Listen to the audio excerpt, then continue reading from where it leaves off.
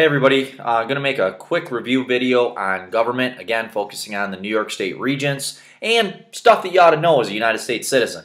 Uh, but anyways, remember, first question is probably going to be geography, uh, then it's going to go into colonial period, then into the American Revolution, and then before you know it, you guys are going to get, you know, could be 6, 8, 12 questions on government. So, uh, let's get rocking and rolling here. Okay, so we win the American Revolution, and now we have to set up a government. Now remember, we are afraid of having a strong government because we just broke away from a monarchy where we really didn't have any say. Remember, uh, one of our call to arms was no taxation without representation. Uh, Washington controlled the military and he just simply walked away. You got to give him kudos for that. So, anyways, our first written form of government is called the Articles of Confederation um, really gave the states more power than the federal government. Remember the weaknesses. Each state had their own form of currency. They couldn't have an army. Uh, federal courts were really non-existent. Uh, the strength of the AOC was the Land Ordinance Act. And remember what that did is it created a way to organize Western territories coming into the nation. Under the Articles of Confederation, there is a rebellion. It's called Shays' Rebellion. Uh, remember, Daniel Shays, a farmer in western Massachusetts, along with hundreds, um, if not thousands of others, uh, are losing their land because they can't pay the taxes. So they are closing the courts so that those courts cannot foreclose on their property. Uh, Massachusetts calls for help, and the federal government, who operates under the Articles of Confederation, says, Sorry, we don't have an army good luck. Okay, so what this really did is it showed us that the articles were too weak in order for us to operate under. So there's going to be a change. We're going to call a constitutional convention.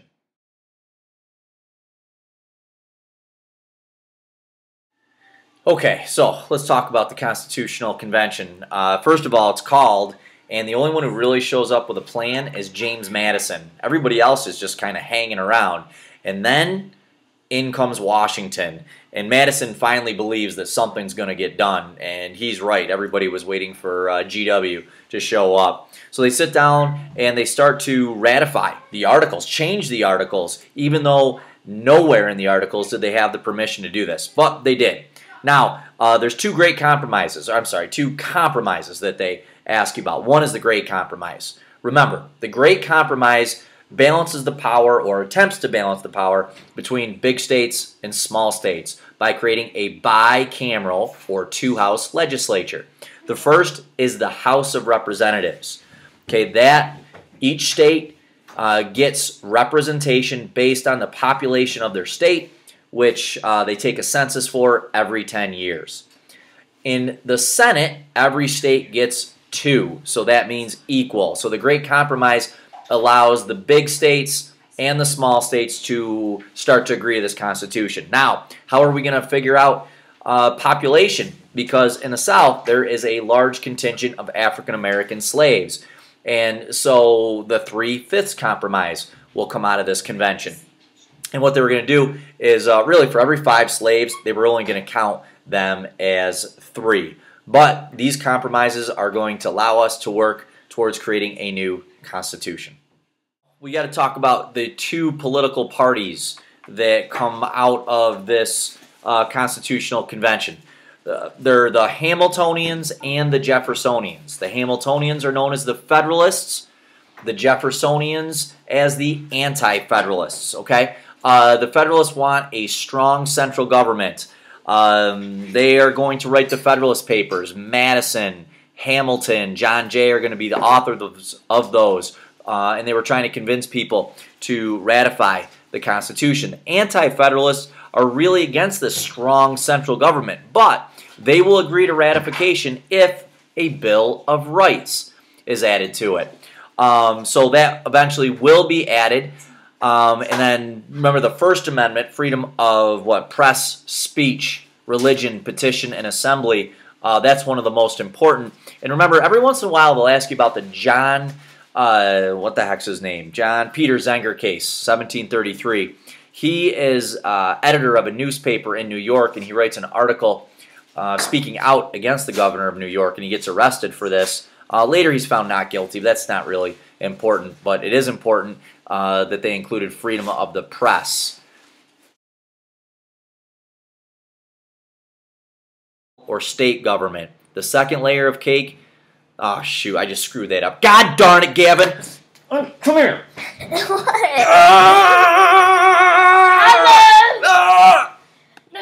Let's talk about the insides of this Constitution.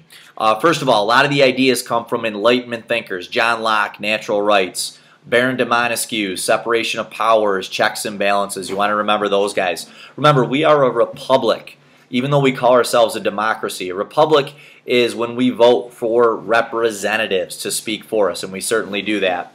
Uh, we've created a federalist government, a federalist form of government. Remember what that means? It's a certain food, layers of cake. The top layer of cake is the federal, national, or central government. The second layer is the states, and the third level is local.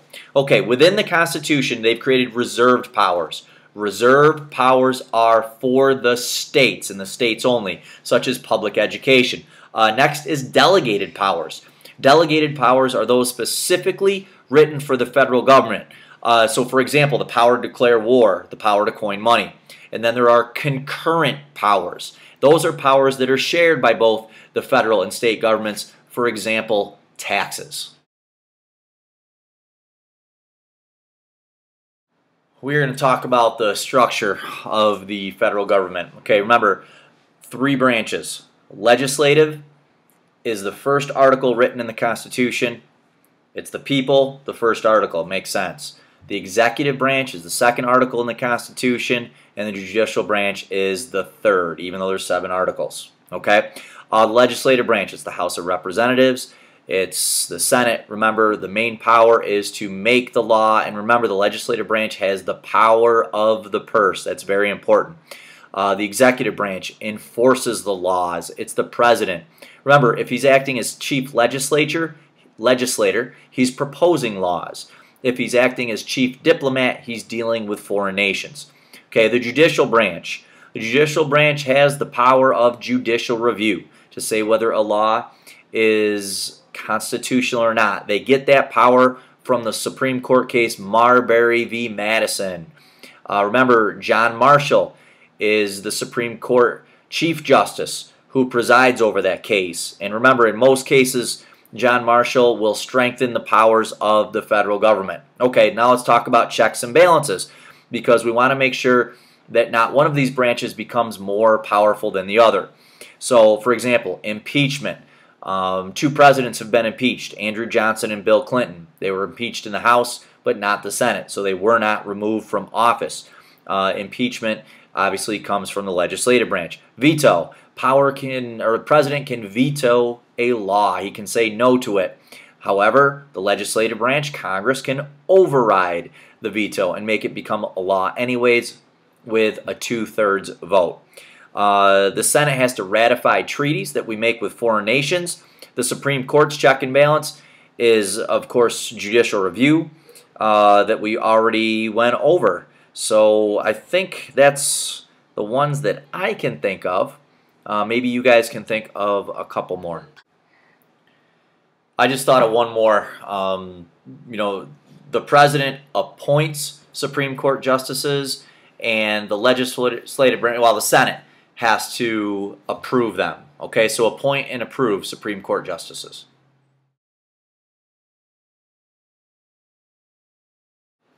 We are the longest lasting republic in the history of the world more than likely because of the flexibility that our founding fathers put into the Constitution. Uh, for example, the elastic clause. Remember, everybody, Mr. Carey's saying um, it's necessary and proper to wear underwear.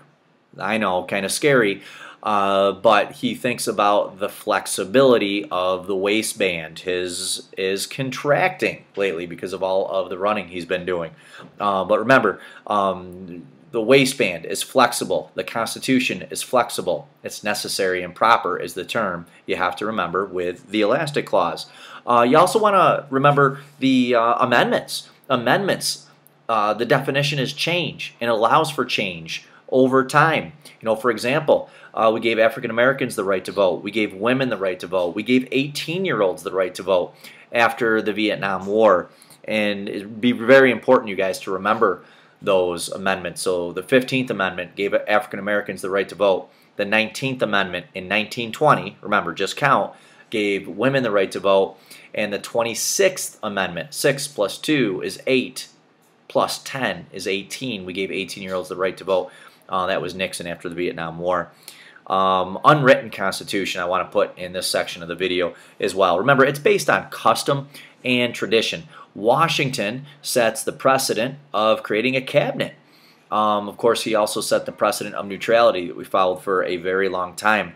Um, political parties are part of the unwritten constitution. The committee system, lobbying, two terms of a president is an amendment. The 22nd Amendment, two terms.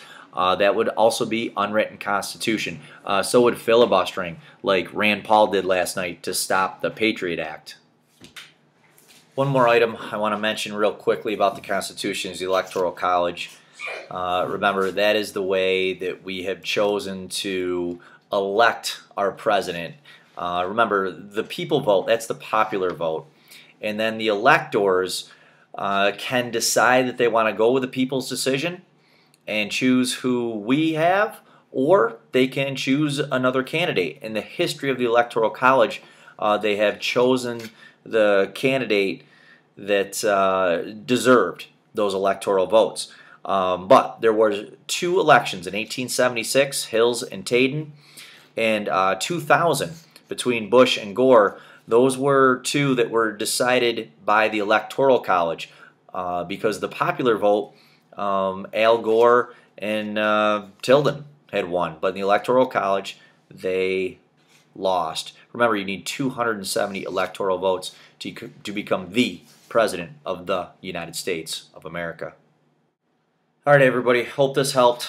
Um, I hit on a lot of the major terms of the government. You definitely want to go through your review book and look over that section. Uh, there's also several uh, short answer DBQ questions and an essay uh, that you could practice writing.